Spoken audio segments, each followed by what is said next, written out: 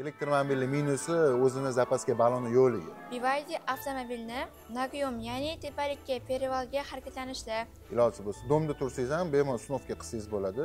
Bu degani e, batareyka o'n olti yilgacha xizmat qiladi. Biza kerak bo'lsa o'sha nol foizga tushirmaymiz to'g'rimi? Yigirma foizdan foydalanamiz. Endi monitoriga garantiya deb videomizni oxirigacha ko'rgan bo'lsangiz elektromobil olishdan aslo qo'rqmaysiz China Motors savol va javob loyihasida. Assalomu alaykum bizni kutgan va tasodifan ko'rib qolganlar. Bugun bizda yana China Motorsning savol javob ko'rsatuvi. Assalomu alaykum bizani kuzatuvchilar keyingi savol javobimizni faqat sizlar uchun. Bizda juda ham ko'p savollar yig'ilgan. Birin ketin barchangiz savollaringizga javob berishga tayyormisiz? Tayyormiz. Bo'lmasa biz mhm. boshladik assalomu alaykum aka sigul zaryadni sikli qanaqa qilib belgilanadi? Soatlabmi yoki har bir qo'yilganiga qarabmi? Ha bu akamiz ham bunaqa savol beryaptilarda e, bitta zaryadkaga qo'ysam sikl qanaqa hisoblanadi deyapti. O'zi kitobi bo'yicha bir sikl e, nol foizdan yuz foizgacha deb belgilangan e, xitoy tomonidan o'zi shu kitobida shunaqa yozilgan. Bizda qanaqa hisoblanadi? Hozirgi kunda biza e, kerak bo'lsa shu nol foizga tushirmaymiz to'g'rimi? Yigirma foizdan foydalanamiz. Ellik foizdan qolganini zaryadkaga qo'yib yuz foiz qilsa bu yarim siklda agar e, ikki marta xuddi shunaqa narsani takrorlaydigan bo'lsak bu bir sikl hisoblanadi. Sikl o'zi shunaqa hisoblanadi. Nol foizdan yuz foizgacha sikl hisoblanadi. Bir sikl bo'ladi. Xitoy tomonidan bizga beriladi besh ming sikl beriladi. Besh ming sikl agar har doim misol uchun hozir sikl to'g'risida gap ketayotgan bo'lsa to'rt yuz kilometrga mo'ljallangan bo'lsa bu degani e, har kun zaryadkaga qo'yib to'rt yuz kilometrdan foydalanib yuradigan bo'lsa bu e, примерно kalkulyatsiyada o'n olti yilga to'g'ri keladi. Bu degani e, batareyka o'n olti yilgacha xizmat qiladi. Lekin tushunchamiz shunaqa. Lekin mana bunaqa narsa bor. Yomkis degan narsa bor batareykasida. O'shanda yomkis yigirma foizga tushishi mumkin. Misol uchun siz mm, nol foizdan yuz foizga zaryadkaga qo'yasiz lekin yuz foiz ko'rsatmaydida u sakson foiz ko'rsatadi. Yigirma foiz уже ko'rsatmaydi. O'shanaqa tushuniladi. Bu soatlab emas bu e, sikl ya'ni e, foizlar foizni taqqoslab turib hisoblab aytilinadi rahmat kattakon javob uchun bizda keyingi savolimiz BYD avtomobilni nagyom ya'ni tepalikka перевалga harakatlanishda mhm. qiyinchilikka uchramaydimi zarari yo'qmi? Bu bo'yicha ma'lumot bersangiz oldindan rahmat. Hmm. Yaxshi savol bo'lgan. Bitta e, bizani mijozimizni o'sha vodiydan перевалda yurgan o'sha aynan elektromobillarda tepalikka chiqish tepalikdan tushishda umuman e, shu qiyinchilik tug'dirmagan ya'ni misol uchun нагрузка bo'lmagan e, bemalol yursa bo'ladi. Hech qanaqa ziyoni yo'q и zarari ham yo'q и batareykani qachon нагрузка beradi? Agar siz tepaligiga chiqayotganda bittada сразу gazni bosib agar chiqadigan bo'lsangiz e'tibor bergan bo'lsangiz aynan elektromobil haydaydigan odamlar. E'tibor bersanglar chiyillagan ovoz chiqadi chiy qilib turadi. Bu degani e, расход ko'payyapti degan e, sizga xabar beradi elektromobillarda. Shunaqa. Lekin tepalikdan e, chiqayotganda hech qanaqa nagruzka bermaydi. Bittada bosganingizda nagruzka berishi mumkin lekin attak o'zini xodi bilan chiqadigan bo'lsangiz hech qanaqa qiyinchilik tug'dirmaydi kilometrajga ham ta'sir bo'lmaydi. Tepalikdan pastga tushayotganda o'zini o'zi zaryadlash degan narsa bor. O'zini o'zi zaryadlash bu degani e, tepalikdan pastlikka tushganda bu e, yuz foiz emas. Misol uchun uch kilovat ikki kilovat просто energiyangizni tejab beradi ya'ni o'ziga обратно qaytarib beradi zaryadkani shu faqat noto'g'ri tushunmanglar bu tepalikdan pastlikka tushganda yana yuz zaryadka misol uchun ellik foiz bo'lsa pastlikka tushgunimcha qirq bo'ladi yana обязательно yana ellik foizga aylanib qoladi degan tushuncha bo'lmasin. Bu просто ekonomik variant qilib beradi o'zini o'zi zaryadlash deb ya'ni ekonomik variant deb tushuniladi. Lekin buni ziyoni yo'q. Shunaqa savolda tushunarli ya'ni hech qanday ziyoni yo'q. Mhm. bemalol chiqsangiz bo'ladi. Mhm. bizda keyingi savolimiz. Mhm. avaz aka bir savol manda bor edi. Domda kvartirada yashayman qish kunlarida ko'chada qoldirsa bo'ladimi? Sovuq havoni ta'siri qanaqa bo'ladi? Batareykaga zarari yo'qmi? Garajimiz yo'q. Hm, yaxshi savol bo'libdi hm, hozirgi kunda toshkentda misol uchun sergelilarni oladigan bo'lsak ko'p joylarda zaryadka установка qilib beryapmiz aynan shu domda turadiganlarga hm, yaxshi savol berganlar domda turadiganlar uchun aytaman bitta narsa. Iloji bo'lsa shu o'zini parkovkasi tepasi yopiq joyda tursa pana joyda turgani yaxshi. E, lekin sovuq kunda ham harakatlanish bo'ladi. Faqat shu minus tomoni e, bosadigan masofangiz ya'ni kilometrajingiz sal pasayib qoladi. Nimagaki? Batareya muzlab turgan sovib turgan holda misol uchun uni qizdirasiz bu ham baribir e, ekonomik variant emas energiyani sarflaydi. Iloji bo'lsa domda tursangiz ham bemalol snovka qilsangiz bo'ladi. Elektrsetdan ruxsat olib bersangiz biza bor misol uchun snovka qilib beramiz.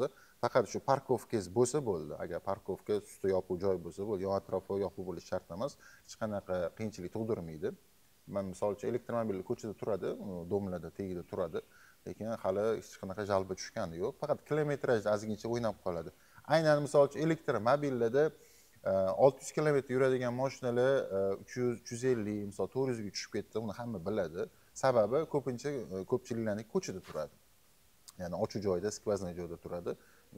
Minus graduslarda misol uchun yaxlab qolish xususiyati o'shani hisobiga sal yonkisi tushib qoladi. Ya'ni kilometrajingiz kamayib qoladi. Lekin kun isigandan keyin yana обязательно o'zini o'sha e, yonkisiga qaytadi kilometrajingiz yana o'z holiga qaytadi. Faqat shu pagodaga e, zarar shu pagoda tomonidan zarar tegib qolmasa ertaga hech qanaqa tegmaydi domga lekin qo'ysa bo'ladi aka bemalol установка qilib bersa biz yo'lini o'rgatamiz telefon qilsangiz faqatgina o'sha havoni ta'siri birozgina Mhm. e, aynan qish mavsumida o'zini ta'sirini ko'rsatadi Hmm. E, kunlar isishi bilan o'ylaymizki bu holat yo'qoladi Hmm. chunki ikki yildan beri haydab yurgan odamlar ham misol uchun e, faqat qishda ozgincha qiynalishdi lekin bahor yozlarga qaytgandan keyin o'sha o'zini probeglari bemalol o'zi xodlari yurib berdi muammo bo'lmadi rahmat kattakon javob uchun Mhm.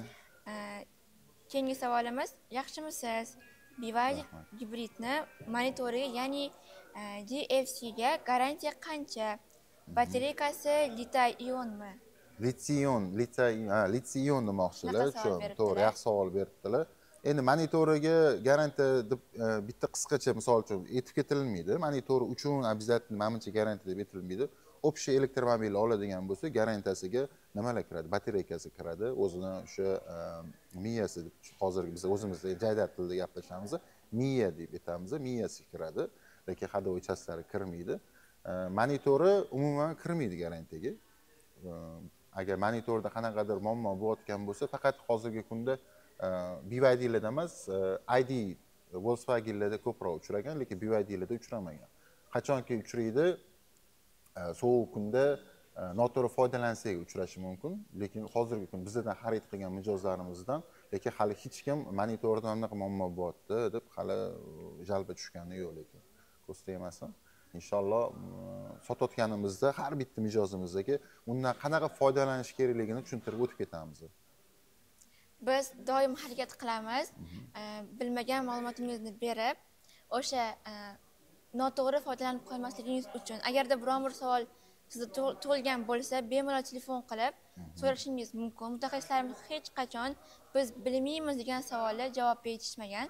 Biza biza sotishi biza faqat moshinani sotmaymiz biza u to'g'risida ma'lumotni to'liq beramiz va bu moshinani qanaqa foydalanish kerakligi e, strukturasi bo'ladiku o'sha narsasini o'rgatamiz. Agar biza aytilgandek foydalansanglar hech qanaqa xudo xohlasa muammoga uchramaysizlar albatta. Hattoki shu o'rinda aytib o'tsam joiz deb o'ylayman. Boshqa avtosalondan xarid qilib muammoga duch kelganlarda biz yordam beramiz. Ya'ni shunchaki boshqa avtosalondan bo'layotgan muammoligini biz qo'yib qo'ymaymiz. Qo'limizdan kelgancha yo'l yo'riq ko'rsatadi mutaxassislarimiz. Keyingi savolimiz biroz jiddiy. Bu savolni biz a, olmasak ham bo'lardi lekin har bitta savolni biz olib chiqamiz ko'rsatuv davomida. Bironta bir savol qolib ketmaydi. Savolni o'qisam biror mard bormi kamchiliklarni aytadigan aynan elektromobillar haqida? Siz bor savol beribsiz. Bor aka siz uchun bor. Boshidan ham aytib ketganman bu narsani. Elektromobilni minusi o'zini zapaska baloni yo'qligi Э, yana bitta minus tomonini aytaymi? Nima minus tomoni bor? Minus tomoni siz olmagan bo'lsangiz e, olishingiz kerak. Mana mana sizni minus tomoningiz shu. Elektromobilda ham xuddi shunaqa narsa. To'g'risi behazil besprikol aka rahmat kattakon yaxshi savol bergansiz bizdan kuzatgansiz. Minus tomoni faqat shu o'zini zapaska balonsiz chiqaradi. Bilmayman nimaga chiqaradi. Bizani yo'llarimizga to'g'ri zapaska balon обязательно kerak. Qolgan man hozirgi kunda aynan boshqa elektromobillarni bilmayman. Bivaydini bilganim minus tomonini hali ko'rmadim. Minus tomoni e, nimada bo'ladi? Nimada bo'ladi minus tomoni yo'qu umuman minus tomoni yo'q. Man ko'rmadim lekin misol necha yildan beri hozir sotayotgan bo'lsa elektromobil e, minus tomonini man ko'rmadim. To'g'ri aytyapsiz bitta minus tomoni bor e, e, son jihatdan ya'ni salonida misol uchun ko'pincha besh o'rindiqli haqiqatdan yetti o'rindiqlilari elektromobil arzon varianti yo'q. Mana minus tomoni shu. И narxida bizada sal qimmat aylanadi o'zbekiston kirib kelishi qimmat. Minus tomoni shu boshqa minus tomoni yo'q elektromobil. Ya'ni e, boshqarishga kelganda umuman minus tomoni yo'q. Qaytanga e, elektromobil haydagan odam boshqa e, shu benzinli yoki gazli motori borli elektr anaqalarni moshinalarni hayda olmaydi. O'ziga qanaqadir narkotikka o'xshab o'ziga bog'lab qo'yadi. Mana shu minus tomoni shu. Albatta elektromobil olib haydab ko'rgan yurtdoshlarimizdan biz alohida ko'rsatuvimizda xalq fikri deb olganmiz. Birontalari yomonlashgani yoki birontalari norozi bo'lganlari yo'q haligacha. Olib haydab ko'ringlar. Doim aytasizlar qimmat qimmat. Inson o'ziga har doim qimmatini loyiq ko'rishi kerak. Bizada qimmat qachon pul topamiz qachon minarkanmiz desak u narsa nasib qilmaydi. Shunchaki ishoninglar olib minib ko'ringlar. Bunaqa negativlar manimcha bo'lmaydi keyin. Hamma narsa boshida yomon ko'rinadi keyin odam o'rgangandan keyin hamma narsa yoqib qoladi komfortniy variant misol uchun o'zimizga bir marta misol uchun e, o'zimiz uchun yaxshi narsa xarid qilsak e, o'zimizni uzog'imiz yaqin qilsa o'sha texnikadan foydalansak manimcha hammamizga yaxshi bo'ladi. Olmagan odamlar bitta olib haydab ko'ringlar yoki kimlargadir e, tanish bilishingiz olgan bo'lsa bitta minib ko'ring yo'q demaydi o'sha odam ham. O'zingiz baho berasiz. Bu reklama emas u elektromobillarni reklama qilish emas undan to'g'ri foydalanish uchun bu ko'rsatuv faqat. Keyingi savolingizni beravering keyingi savolimiz e, to'pli nasos bor. Elektromobil bilan yo'q elektromobilni qanday ajratsa bo'ladi? Ha toplini nasos e, toplini nasosi bor elektromobil bilan to'pli nasos yo'q elektromobillar e, ajratish qanaqa bo'ladi? Man oddiy aytib ketaman hozirgi kunda shu kungacha kirib kelayotgan elektromobillarda faqat sigulda spiralniy bo'ladi. Qolgan hamma elektromobil e ikkidan tortib tepagacha bo'lgan o'sha narxni va full variantlariga qarab hammasi to'plinniy nasosi bor. To'plinniy nasos o'zi nima vazifani bajaradi? To'plinniy nasos mm, ekonomika ya'ni misol uchun e, batareykani ekonom qilib beradi. Bu degani batareykani qizdirib batareykaga qanaqadir e, urg'uni o'shanga beradi degani emas oddiy misol uyingizda ham to'plinniy pol bilan e, spiralniy pechkani qo'yib qo'yasiz. Qaysi bir ekonom variant sizga to'plinniy pol? Baribir ekonom hisoblanadi. Spiralniysi bilasiz tokka zavoli yeydi. Xuddi shunaqa narsa. Elektromobillarda ham xuddi shunaqa. Просто batareykani ekonom qilib beradi. Shu farqi shunda bo'ladi. Boshqacha farqi yo'q u narsani. Keyin uni ichini ochib qaraganingizda kapotni ochib qaraganingizda ham o'zi shlankalar turgan bo'ladi. Bu burchagida man videoda ko'rsatib beraman. O'sha to'pling nasos bo'ladi. Bitta sigulda hozirgi kunda yo'q. Lekin sigul kilometrajda to'g'ri yurib beradi chunki u ham kichkina salonni isitish e, unaqa katta kuch talab qilmaydi. Salon kichkinani hisobiga tez isiydi. Hozir man sizga ko'rsatib beraman e, sigul bilan shu e ikkidan tepasida man videoda ko'rsatib beraman sizlarga. Mana e ikkida ko'rsataman. E, Сопленный nasos. Сопленный nasos mana shu ko'rinishda bo'ladi. Ko'pchilik ko'rmagan bo'lsa ko'rib ketsin bu miyasi hisoblansa to'plinniy nasos mana shu bo'ladi. Faqat sigulda e'tibor bersanglar bu narsa yo'q. Qolgan hamma elektromobillarda mana mana shu narsa bor. Bu to'plangan nasos hisoblanadi. Xuddi mana ko'rsatgan narsam bilan ajratsa bo'ladi bemalol manga dvornik yetkazib bermadinglar aka qiyomatga qolib ketmasin. Haliyam kutyapman ha bu manimcha e, menejerimizni mijozi e, bu bo'yicha man o'zim shug'ullanganman. Shunaqa e, xitoydan kelayotganda biza tekshirib olganimizda dvorniksiz kelgan ekan yaxshi eslatdingiz aka e, sizga dvornik yetkazib beramiz e, aloqaga chiqing. Man to'g'risi ishim ko'payib ketgani hisobiga ming bor uzr so'rayman. E, qolib ketibdi. Dvornikka chiqarib beramiz yetkazib beramiz yaxshi savol beribsiz. Qiyomatga qolib ketmaydi. Aka inshaalloh man shu sizga aytganman va'da berganman va'damni ustidan chiqadigan bo'laman. Xudo xohlasa yetkazib beraman. Albatta yetkazib beramiz buni xavotir olmang. Ming bor uzr bu holat uchun. E'tibor bersanglar kommentariyadagi negativ gap bo'ladimi yaxshi gap bo'ladimi hamma narsasini olib chiqib beramiz. Chunki hech kimdan anaqa bekitadigan qo'rqadigan joyimiz yo'q. To'g'risini ochiqchasiga gaplashadigan bo'lamiz. Minus bo'lsa minuslari e, plyus bo'lsa plyuslari albatta elektromobilda rekuperatsiya qanday yoqiladi? O'zi bu narsa nima? Rekuperatsiya e, yaxshi savol. Rekuperatsiya monitor orqali e, tablo orqali yoqsangiz ham bo'ladi. Bu nima vazifani bajaradi? O'zini o'zi zaryadlash tepalikdan pastlikka tushish larjer bor и standart bor. Ikki xil bo'ladi.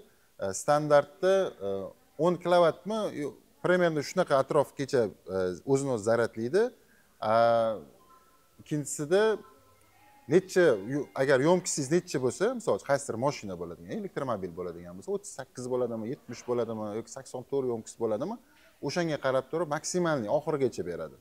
Rekuperatsiya o'sha vazifani bajaradi o'zini o'zi zaryadlash deb aytilinadi bu yaxshi foyda beradi ya'ni kilometrajingizni e, me'yorida ushlab beradi. Misol uchun tepalikdan tushib kelganingizda o'zini o'zi zaryadlash ekonomniy bundan oldin aytib ketgandim shu variantni.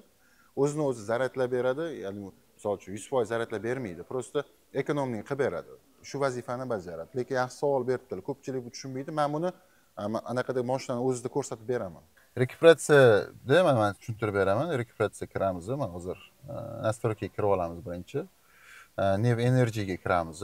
Mana mana bu yerda bo'ladi. Rekuperatsiyasi bu degani mana hozir standartda turibdi.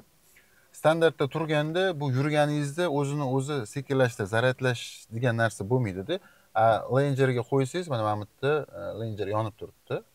Ya'ni o'zini o'zi zaryadlash ya'ni tepalikdan tushganda yoki tez ketayotganingizda gazdan shuni oyog'ingizni olsangiz o'zini o'zi sekinlashib boradi. Mana mana shu narsa ishlayotgan bo'ladi. Bu batareykaga ekonomniy ya'ni zaryadlab beradi degan tushuncha beriladi. O'shaning uchun ko'pchilik buni yoqib qo'yadi. Buni yoqib qo'ysangiz zo'r chunki buni yoqib qo'yganingizda kolodkangizga ancha foyda chunki kalotka ishlamaydi. U payt kalotka umuman ishlamaydi. O'zini o'zi lekin o'sha baraban o'zini o'zi to'xtatib ya'ni zaryadlashi e, me'yoriga yetkazib beradi. Ko'pchilik standartda yuradi. Gazdan shuni olsangiz ham yurishni bir xil qilib beradi. Anavi hech qanaqa to'xtash sekinlashish bo'lmaydi. Lanjer yoqib qo'ying chunki ko'pchilik yoqib qo'yadi. E, gaz tez yuribdi bitta olsangiz ham moshina sekin o'zini xudiga sekin to'xtashni boshlaydi. Doimiy mana shu yoqib tursa lekin e, hammaga yaxshi ham foydali bu. Mana shu narsani ko'pchilik so'radi. Savolim savolinglarga to'g'ri javob berdim degan umiddaman. Mana shunaqa lacherga o'tkazib qo'ysanglar e, o'zinglarga hamma foyda beradi. И kalotkanglarga ham ancha anaqa uzoq xizmat qilib beradi. Qishda elektromobillar o'chganini ko'rdik. Nega unday bo'ldi? Qishda elektromobillar o'chganini ko'rdik. Nimaga unaqa bo'ldi? Qaysidir e, mana bunaqa narsa borda aka yaxshi savol bergansiz. Nima uchun o'chib qoldi? Ko'pchilik savollar beradi shunaqa nima uchun o'chib qoldi yoki o'chib qoldi nima qilish kerak degan savollar beradi birinchisini aytib beraman. Skorsda turgan holda startni bosib o'chirib qo'yasizlar ko'pchiliklar shunaqa qilyapsizlar bu noto'g'ri. O'chib qolaveradi. Keyin yonmaydi umuman. Chunki e, skorsda holatni o'chirib qo'yyapsiz miyaga нагрузка beryaptida biz endi o'zimizni jaydar tilida gapiryapman нагрузка beryapmizda uni yoqqanimizdan keyin u tushunmayaptida moshina. Moshina bilasiz bu texnika u hamma narsa kompyuterda boshqariladi. O'shani hisobiga. O'chib qolmasligini sababi o'sha aytilgan to'g'ri e, foydalansanglar elektromobillardan. To'g'ri foydalansa o'chmaydi. Yana bitta narsa o'chib qoladi e, proshivka noto'g'ri bo'lib qolyapti. Ko'pchilik proshivkaga boryaptida mana buni o'chirib bering buni o'chirib bering deyaptida o'chirish kerak emas uni qaytadan to'g'irlab qo'yish kerak. Misol uchun chek yonib qolsa ham chekka o'chirib bering deydi. Chekka o'chirmanglar baraka topqirlar. Qaytanga o'sha bu kompyuterda shunaqa narsada elektromobilda kasallik ko'rsatib beradi. O'sha kasalni oldini olish kerak yoki shu kasalni davolash kerak? Uni o'chirib qo'yib misol uchun mana bunaqa narsa bo'lyaptida hozir e, shamollagansizda og'riq qoldirgan ukol qilyapsizda bo'ldi o'tib ketyapsizda. Siz shamollashga qarshi harakat qilmayapsiz? Yoki o'sha antibiotikingizni olmayapsiz? Yoki qanaqadir lechение qilmayapsizda просто og'riq qoldirgan dori bilan yana yuribsizda. Xuddi shu narsani aytyapsizlarda bu narsani ko'rsatyapsizlarmi proshivka qildiryapsizlarmi o'sha narsasini to'g'irlab turib keyin proshivka qildiringlar. Noto'g'ri proshivka monitorni ham moshinani ham hammasini bittada buzib qo'yyaptida servisga borayotganda nimaga yonib qoldi? Manga o'chirib berma buni to'g'irlab ber deb aytinglar baraka topkurlar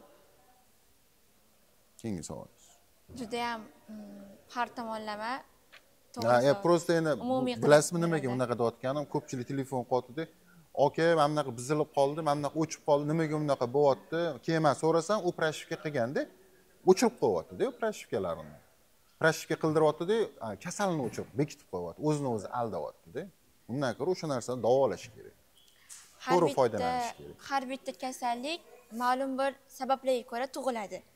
Ya'ni o'z o'zidan shamollab qolmaysiz.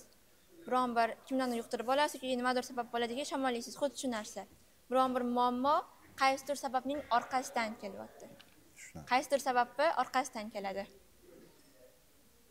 Keyingi savolingiz volkswagen bilan Vivaldi batareykalarini farqi nimada volkswagen volkswagen id4 id6 lar yaxshi mashinalar lekin men uni yomonlamayman lekin haqiqatdan chiroyli mashina chiqqan. Просто litsiy ion batareyka ko'mir ko'mir bilan jihozlangan batareyka bilan chiqqan ularniki. A BYDniki железный fosfat dunyoda shu hozirgi kunda birinchi o'rinda э, turadigan batareyka umri uzun batareyka litsiy ion batareykasi yomon emas zo'r batareykasi u baquvvat ham chidamli batareyka и э, kuchli batareya ekan. Faqat umri qisqaroq э, железный fosfatniki umri uzun u slabiy bo'lsa ham umri uzun lekin ko'proq xizmat qilib beradi. Э, o'shaning uchun ko'pchiliklar qishda bizada volkswagenlar sal qiynalishdi. Hozir haydab yurgan odamlarni ham ko'p ko'chada ko'rib turibman. Yuryaptimi desam ha yuryapti dedi lekin kilometraj kamayyapti u ham. Обычный kamayyapti farqi shundaki litsiy ion bilan ko'mirli batareyka bilan железный fosfat batareykasi farqi shunda.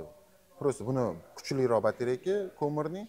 A bu e, ekonomniki umri uzunroq batareyka faqat shunda farqi volkswagen haydab yurgan akalar e, man yomonlamayman moshinalarni moshinalar zo'r manga o'zi yoqadi e, volkswagenlar ну batareykasi manga sal yoqmagani uchun man to'g'risini aytaman volkswagen to'g'risida и uni olib kirib sotish to'g'risida man hech kimga taklif bermaganman. И olib kirib sotmayman. Rahmat javob uchun. Bizda so'nggi oxirgi savolimiz elektromobil batareykasida ya'ni jelezo fosfatda batareyka har bir yachinkasi necha kilovatdan tok zaxirasi bo'ladi? Yaxshi savol beribdilar. Manimcha buni ko'pchilik уже biladi bilmaganlarga yana qaytarib o'tib ketaman. Железный fosfat batareykasida e, har bitta batareykasida e, blok deb hisoblaydigan bo'lsak bir blokda besh kilovat bo'ladi. E, besh kilovat bo'lsa bir kilovatida summasini ham aytib ketaman e, oldin ham aytib ketgan bir yuz o'ttiz dollardan bo'ladi bir kilovati. Bitta blokda besh kilovat bo'ladi bu olti yuz ellik dollarga aylanadi. Bitta blokda bitta blokda besh kilovatdan bo'lsa misol uchun qaysi moshina? Примерно misol uchun oladigan bo'lsak sigulni oladigan bo'lsak eng kichkina moshina o'ttiz sakkiz kilovat bo'ladigan bo'lsa buni e, hozir aytaman beshga bo'ladigan bo'lsak yo'q bir minut. Bo'ladigan bo'lsak beshga bo'ladigan bo'lsak mana bunaqa hisoblanadi. O'ttiz kilovatli yonkistli batareyka sigul misol uchun eng kichkina mashina просто endi anavi joylari tushuntirib ketay o'ttiz sakkiz bo'lsa bitta blokida besh kilovat bo'ladi. Agar общий o'ttiz sakkizga o'ttiz sakkizi beshga bo'ladigan bo'lsa bu e, yettizta e, ya'ni blok bo'ladi. Bitta seli batareykasida e, yettizta blok bo'ladi sakkizta blok bo'ladi. Sakkizta blokingizni agar hisoblaydigan bo'lsangiz hozirgi kunda to'qqiz ming bir yuz dollarga aylanadi. Общий almashtirish bo'lsa lekin buni bitta blokni almashtirsangiz bo'ladi. Chunki qaysidir yonkis tushib ketadi u seli tushmaydi. Bloklab tushadi. Qaysidir blokida kamroq bo'lib qoladi. U bitta blokni almashtirsangiz olti yuz ellik dollar turadi hozirgi kunda. Yana bora bora tushib ketyapti narxi. Bu qachon almashadi? Qachonki noto'g'ri foydalansa ya'ni uch yuz saksonga doimiy qo'yib yursa ham anaqa yonkis tashlab yuboradi tushib ketadi. Yoki vaqt sari misol uchun besh yildan keyin yoki o'n yildan keyin olti yuz ellik dollar расход misol uchun besh yil ichida olti yuz ellik ellik dollar расход unaqa katta summa emasda chunki hozir misol uchun haydab yurgan moshinangizni olti yuz ellik dollar manimcha bir oy o'zida yo'q qilib yuborsangiz kerak bir oy yo ikki oy yo nari berisi bilan расходingiz chiqib ketadi. Lekin besh yil ichida bitta blokni almashtirish manimcha bu katta minus emasda ya'ni elektromobillar uchun.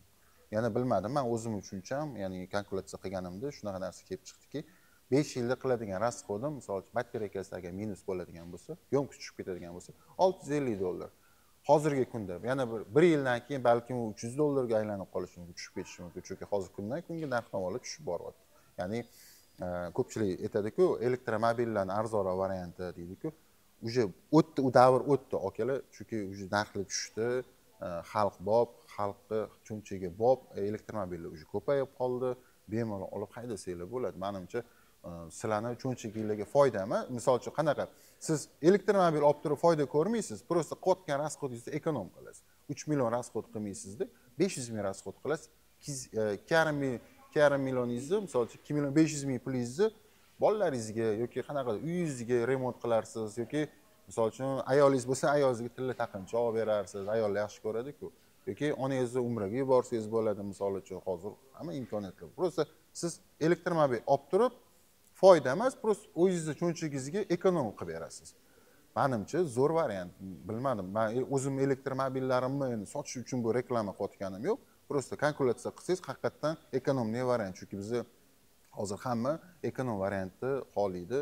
Ekonom variant qidiryapti mana misol uchun elektromobil qo'rqmasdan xarid qilsanglar bo'ladi. Batareykalari umuman muammo bo'lmaydi.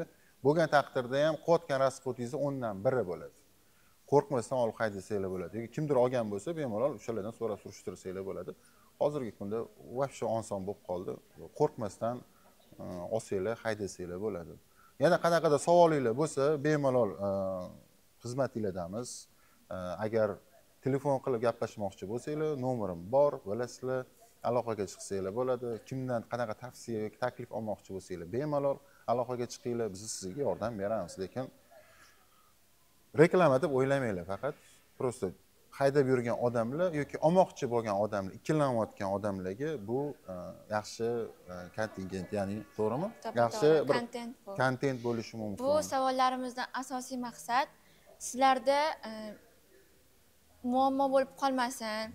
Tushunarsiz holatlar bo'lmasligi uchun har bitta savolinglarga har bitta savolni bizni qoldirmasdan videorolikimizni olib chiqyapmiz bu hammasi sizlarni foydanglar uchun ya'ni e, muammoli holatlar bo'lmasligi uchun reklama o'z o'rnida xalq fikri sizlarni muammolinglar o'z yo'lida. Просто servisga borganinglarda bitta narsani esinglardan chiqarmanglar. Servisga borsanglar nima qilayotganinglarni bilib boringlar. Bilmasdan turib borib uni o'chirtirmanglar iltimos sizlardan jalba ko'payib ketib qolmasin chunki elektromobilni почти dunyoni bosib bo'ldida elektromobilni bitta hozir bizda qoldiu почти anavi haliyam qabul qabul ha qabul qilishga biz ikkilanamiz haligacha. Ikkilanish kerak emas. Yengillikmi? Yengillikka qarab qadam bosib kerak. Bu misol uchun bizga qaytanga foyda keltiradi zarar keltirmaydi hammaga rahmat. kommentariy layk yoki olmagan odamlarga bo'lsa jo'natib qo'yinglar olish uchun oson bo'lsin. Yoki olgan odamlar foydalanmayotgan bo'lsa o'sha odamga jo'natib qo'yinglar. Misol uchun tanish bilishinglar bor qarindosh urug'lar bor o'shalarga jo'natib qo'ysanglar biza xursand bo'lamiz. Qanaqadir foydamiz tegsa sizlarga. Hammaga rahmat. Izohlarda o'z fikringizni qoldiring. Savollaringizni bo'lsa bemalol yozib qoldiringlar. Biz har bittasini inobatga olib ko'rsatuvlarimizda olib chiqamiz sog' bo'ling salomat bo'ling hammaga rahmat charchamanglar rahmat